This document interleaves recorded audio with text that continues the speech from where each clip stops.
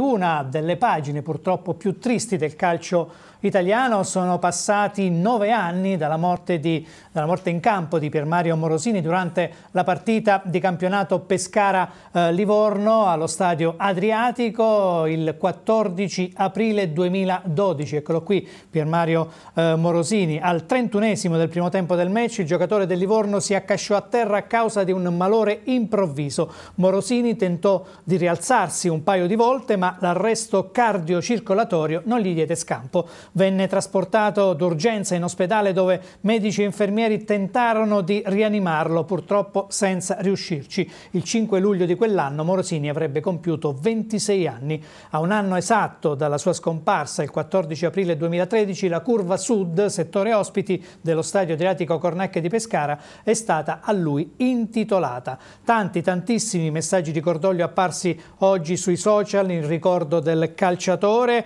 eh, ve ne leggo uno, mm, lo trovate sull'account ufficiale della Serie B, ciao Moro, nove anni fa, quel giorno maledetto, tutte le bandiere sventolano insieme per onorare il tuo ricordo, sarai sempre uno di noi.